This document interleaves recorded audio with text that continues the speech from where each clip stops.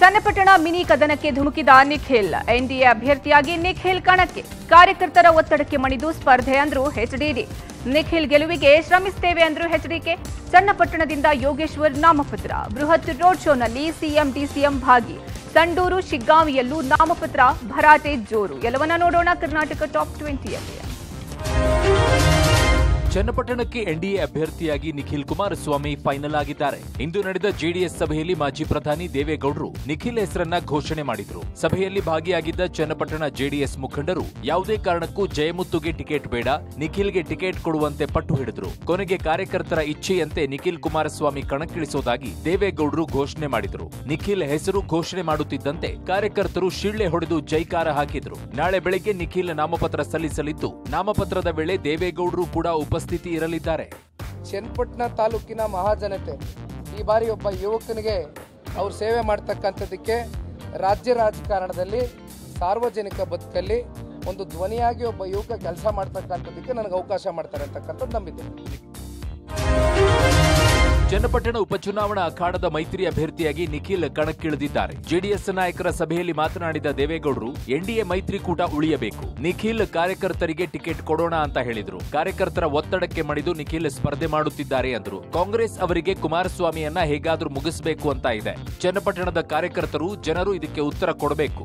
ನಾನೇ ಚನ್ನಪಟ್ಟಣಕ್ಕೆ ಬಂದು ಪ್ರಚಾರ ಮಾಡ್ತೀನಿ ಅಂದ್ರು. ಇನ್ನು ಕೇಂದ್ರ ಸಚಿವ ಕುಮಾರಸ್ವಾಮಿ ಕೂಡ ಚನ್ನಪಟ್ಟಣ ಎನ್ಡಿಎ ಅಭ್ಯರ್ಥಿಯಾಗಿ ನಿಖಿಲ್ ಸ್ಪರ್ಧೆ ಮಾಡ್ತಾರೆ ಅಂದ್ರು. ನಿಖಿಲ್ ಕುಮಾರಸ್ವಾಮಿಯವರು ಒಬ್ಬ ಕಾರ್ಯಕರ್ತರನ್ನ ನಿಲ್ಲಿಸಿ ಭಾವನೆ ಇತ್ತು ಚನ್ನಪಟ್ಟಣದ ಮುಖಂಡರು ಜೈಮುದ್ದು ಸೇರಿದಂತೆ ಇವತ್ತು ಸಾವಿರಾರು ಜನ ಮತ್ತೆ ಬಂದು ನಿಖಿಲ್ ಕುಮಾರಸ್ವಾಮಿಯವರೇ ನಿಲ್ಲಬೇಕು ಅಂತ ಹೇಳಿ ತೀರ್ಮಾನ ಮಾಡಿದ್ರು. ನಾಳೆ ನಾಮಿನೇಷನ್ನ ಫೈಲ್ ಮಾಡ್ತಾರೆ.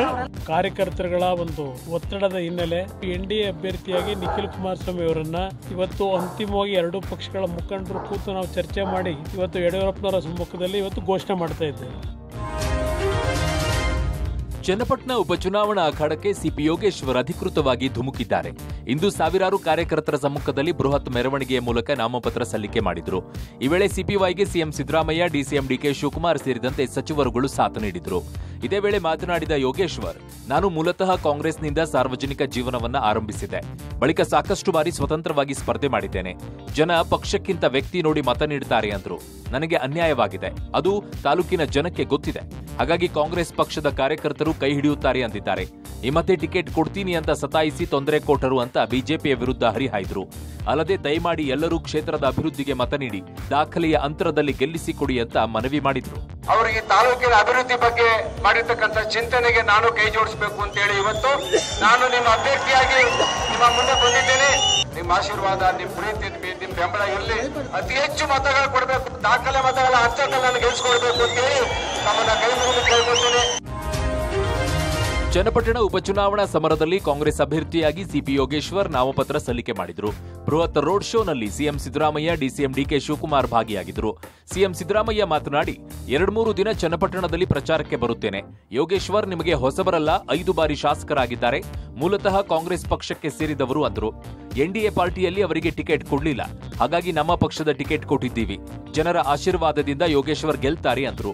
ಇನ್ನು ಡಿಕೆ ಶಿವಕುಮಾರ್ ಕೂಡ ಚನ್ನಪಟ್ಟಣವನ್ನು ಅಭಿವೃದ್ಧಿ ಮಾಡುವ ಸಂಕಲ್ಪ ಮಾಡಿದ್ದೇವೆ ನಿಮ್ಮನ್ನ ಯಾವುದೇ ಕಾರಣಕ್ಕೂ ಕೈ ಬಿಡಲ್ಲ ಭವಿಷ್ಯದಲ್ಲಿ ನಿಮ್ಮ ಜೊತೆಗೆ ಇದ್ದು ಕೆಲಸ ಮಾಡ್ತೀವಿ ಅಂದ್ರು. ಇನ್ನು ಕ್ಷೇತ್ರಕ್ಕೆ ಈಗಾಗಲೇ ಐನೂರು ಕೋಟಿ ಅನುದಾನ ನೀಡಿದ್ದೇವೆ. ಯೋಗೇಶ್ವರ್ ಹಾಗೂ ನಾನು ಒಟ್ಟಾಗಿ ಕ್ಷೇತ್ರ ಅಭಿವೃದ್ಧಿ ಮಾಡ್ತೀವಿ ಅಂದ್ರು.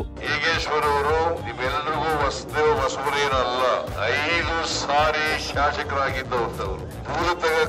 ಕಾಂಗ್ರೆಸ್ ಪಕ್ಷಕ್ಕೆ ಸೇರಿದಂತ ನಮ್ಮ ಪಕ್ಷಕ್ಕೆ ಬಂದಿದ್ದಾರೆ, ಅವರನ್ನ ಅಭ್ಯರ್ಥಿಯನ್ನಾಗಿ ಮಾಡಿದ್ದೇವೆ. ಚನ್ನಪಟ್ಟಣಕ್ಕೆ ಈಗಾಗಲೇ ಮುಖ್ಯಮಂತ್ರಿಗಳು ನಾವೆಲ್ಲ ಕೂತ್ಕೊಂಡು ಮಾತಾಡಿ, ಒಂದು ಐನೂರು ಕೋಟಿ ರೂಪಾಯಿ ಹಣವನ್ನು ಕೂಡ ಈಗಾಗಲೇ ಬಿಡುಗಡೆ ಮಾಡಿಸಿ, ಕೆಲಸವನ್ನ ಈಗಾಗಲೇ ನಾವು ಪ್ರಾರಂಭವನ್ನ ನಾವು ಮಾಡಿದ್ದೇವೆ. ಯೋಗೇಶ್ ಅವರು, ನಾನು ಬೆಳೆದಂತ ಕ್ಷೇತ್ರ, ಈ ಜನರ ಋಣವನ್ನ ತಿಳಿಸಬೇಕು. ಈ ರಾಜ್ಯದಲ್ಲಿ ಕಾಂಗ್ರೆಸ್ ಸರ್ಕಾರ ಅಧಿಕಾರದಲ್ಲಿದೆ. ನಾನು ಕೈ ಜೋಡಿಸಿ ಜನರ ಸೇವೆಯನ್ನು ಮಾಡಬೇಕು ಅಂತ ಹೇಳಿ ಒಂದೇ ಒಂದು ಷರತ್ತನ್ನ ಹಾಕಿ ಈ ಕ್ಷೇತ್ರದ ಜನತೆಗೋಸ್ಕರ ಇವತ್ತು ಅವರು ಕಾಂಗ್ರೆಸ್ ಪಕ್ಷವನ್ನ, ಈ ರಾಷ್ಟ್ರೀಯ ಕಾಂಗ್ರೆಸ್ ಪಕ್ಷವನ್ನ ಇವತ್ತು ಸೇರಿ ನಿಮ್ಮ ಮುಂದೆ ಶಕ್ತಿ ತುಂಬಿ ಅಂತ ಕೇಳಲಿಕ್ಕೆ ಇವತ್ತು ಬಂದಿದ್ದಾರೆ. ರಾಜ್ಯದಲ್ಲಿ ಮೂರು ಉಪಚುನಾವಣಾ ಕಾವು ಜೋರಾಗಿದೆ. ಸಂಡೂರು ಚುನಾವಣಾ ಅಖಾಡ ಕೂಡ ಜೋರಾಗಿದ್ದು, ಇವತ್ತು ಕಾಂಗ್ರೆಸ್ ಅಭ್ಯರ್ಥಿ ಅನ್ನಪೂರ್ಣ ತುಕಾರಾಂ ನಾಮಪತ್ರ ಸಲ್ಲಿಕೆ ಮಾಡಿದ್ರು. ಸಂಡೂರಿನ ಎಪಿಎಂಸಿಯಿಂದ ತಾಲೂಕು ಕಚೇರಿಯವರೆಗೂ ಬೃಹತ್ ರೋಡ್ ಶೋ ಮೂಲಕ ನಾಮಪತ್ರ ಸಲ್ಲಿಸಿದ್ರು. ಈ ವೇಳೆ ಮಾತನಾಡಿ, ಜನರಿಂದ ಉತ್ತಮ ರೆಸ್ಪಾನ್ಸ್ ಬರ್ತಿದೆ. ಎರಡು ಸಾವಿರದ ಎಂಟರಿಂದಲೂ ಕೂಡ ಜನಾರ್ದನ್ ರೆಡ್ಡಿಯನ್ನ ಎದುರಿಸ್ತಾ ಬಂದಿದ್ದೇವೆ. ನಮಗೇನಿದು ಹೊಸದಲ್ಲ, ನಾವು ಗೆದ್ದೇ ಗೆಲ್ತೇವೆ ಎಂಬ ವಿಶ್ವಾಸ ವ್ಯಕ್ತಪಡಿಸಿದ್ರು. ಇನ್ನು ನಮ್ಮ ಪಕ್ಷದಲ್ಲಿ ಮಹಿಳೆಯರಿಗೂ ಸಮಾನ ಸ್ಥಾನಮಾನವನ್ನು ಕೊಟ್ಟಿದ್ದಾರೆ. ಅದಕ್ಕೆ ನಾನೇ ಸ್ಪಷ್ಟ ಉದಾಹರಣೆ ಅಂತ ಹೇಳಿ ಕಾಂಗ್ರೆಸ್ ಅಭ್ಯರ್ಥಿ ಅನ್ನಪೂರ್ಣ ತುಕಾರಾಂ ಹೇಳಿದ್ರು. ಅತ್ತ ಶಿಗ್ಗಾವಿ ರಣಕಣ ಬಿಜೆಪಿ ಅಭ್ಯರ್ಥಿ ಭರತ್ ಬೊಮ್ಮಾಯಿ ನಾಮಪತ್ರ ಸಲ್ಲಿಕೆ ಮಾಡಿದ್ದಾರೆ. ಕುಟುಂಬ ಸಮೇತರಾಗಿ ಬಂದು ನಾಮಪತ್ರ ಸಲ್ಲಿಸಿದ ಭರತ್ಗೆ ಪತ್ನಿ ಹಾಗೂ ತಮ್ಮ ಆಪ್ತರು ಸಾಥನ ಕೊಟ್ಟರು ಸರಳವಾಗಿ ನಾಮಪತ್ರ ಸಲ್ಲಿಕೆ ಮಾಡಿದ ಭರತ್ ಬೊಮ್ಮಾಯಿಗೆ ನಾಳೆ ಅದ್ದೂರಿಯಾಗಿ ಮೆರವಣಿಗೆ ಮೂಲಕ ಮತ್ತೊಮ್ಮೆ ನಾಮಪತ್ರ ಸಲ್ಲಿಕೆಯನ್ನ ಮಾಡಲಿದ್ದಾರೆ. ನಮಗೇನು ಕಷ್ಟ ಅನ್ಸಲ್ಲ ಯಾಕಂದ್ರೆ ನಮ್ದೊಂದು ಪಡೆನೇ ಇದೆ ಇಲ್ಲಿ. ಕಾರ್ಯಕರ್ತರ ಪಡೆ ಇದೆ ನಮ್ಮೆಲ್ಲ ಮುಖಂಡರಿದ್ದಾರೆ ನಮ್ಮ ಜೊತೆಗೆ. ನಮಗಂಥ ಕಷ್ಟ ಏನು ಅನ್ಸೋದೇ ಇಲ್ಲ. ಎಲ್ಲರೂ ಒಗ್ಗಟ್ಟಾಗಿ ನಾವು ಚುನಾವಣೆ ಎದುರಿಸ್ತಾ ಇದ್ದೀವಿ. ಎಲ್ಲ ನಮ್ಮ ನಾಯಕರು ಮುಖಂಡರು ಎಲ್ಲರೂ ಸೇರಿ ಒಗ್ಗಟ್ಟಾಗಿ ಚುನಾವಣೆ ಎದುರಿಸ್ತಾ ಇದ್ದೀವಿ. ಗೆದ್ದೇ. ದಕ್ಷಿಣ ಕನ್ನಡ ಮತ್ತು ಉಡುಪಿ ಜಿಲ್ಲೆಗಳ ಸ್ಥಳೀಯ ಸಂಸ್ಥೆಗಳಿಂದ ವಿಧಾನ ಪರಿಷತ್ಗೆ ನಡೆದ ಉಪಚುನಾವಣೆಯಲ್ಲಿ ಬಿಜೆಪಿ ಗೆದ್ದುಕೊಂಡಿದೆ.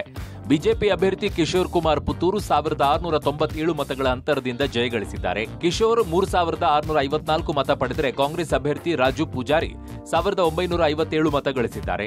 ಎಸ್ಡಿಪಿಐನ ಅನ್ವರ್ ಸಾದತ್ ನೂರ ತೊಂಬತ್ತೈದು ಮತ, ಪಕ್ಷೇತರ ಅಭ್ಯರ್ಥಿ ದಿನಕರ್ ಉಳ್ಳಾಲ್ ಒಂಬತ್ತು ಮತ ಗಳಿಸಿದ್ರು. ಚಲಾವಣೆಯಾದ ಒಟ್ಟು ಐದು ಸಾವಿರದ ಒಂಬೈನೂರ ಆರು ಮತಗಳ ಪೈಕಿ ಐದು ಸಾವಿರದ ಎಂಟುನೂರ ಹತ್ತೊಂಬತ್ತು ಸಿಂಧು ಮತಗಳಿದ್ವು. ಡಿಯಾಲ್ ಬೈಲಿನ ಸೆಂಟ್ ಅಲೋಶಿಯಸ್ನ ಪದವಿ ಪೂರ್ವ ಕಾಲೇಜಿನಲ್ಲಿ ಮತ ಎಣಿಕೆ ಕಾರ್ಯ ನಡೆಯಿತು. ಚಿಕ್ಕಮಗಳೂರು, ಉಡುಪಿ ಲೋಕಸಭಾ ಸದಸ್ಯರಾಗಿ ಕೋಟಾ ಶ್ರೀನಿವಾಸ್ ಪೂಜಾರಿ ಆಯ್ಕೆಯಾದ ಹಿನ್ನೆಲೆಯಲ್ಲಿ ವಿಧಾನ ಪರಿಷತ್ ಸದಸ್ಯ ಸ್ಥಾನಕ್ಕೆ ರಾಜೀನಾಮೆ ನೀಡಿದ್ರು. ಆ ಸ್ಥಾನದ ಭರ್ತಿಗಾಗಿ ಅಕ್ಟೋಬರ್ ಇಪ್ಪತ್ತೊಂದರಂದು ಉಪಚುನಾವಣೆ ನಡೆದಿತ್ತು.